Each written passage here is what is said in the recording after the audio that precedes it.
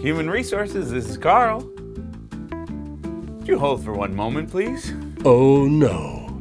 The dreaded audit. Makes you feel like you've got a noose around your neck. Human Resources, this is Shelley. It's enough to drive a person completely Can you insane. hold on, please? But not you. You're as cool as a cucumber. Human Resources, this is Tim. You've got compliance Yeah, just working on by eQuest. And aren't you glad you do? Awesome. Maybe we can squeeze in a quick nine after. eQuest. Compliance readiness. Audit protection.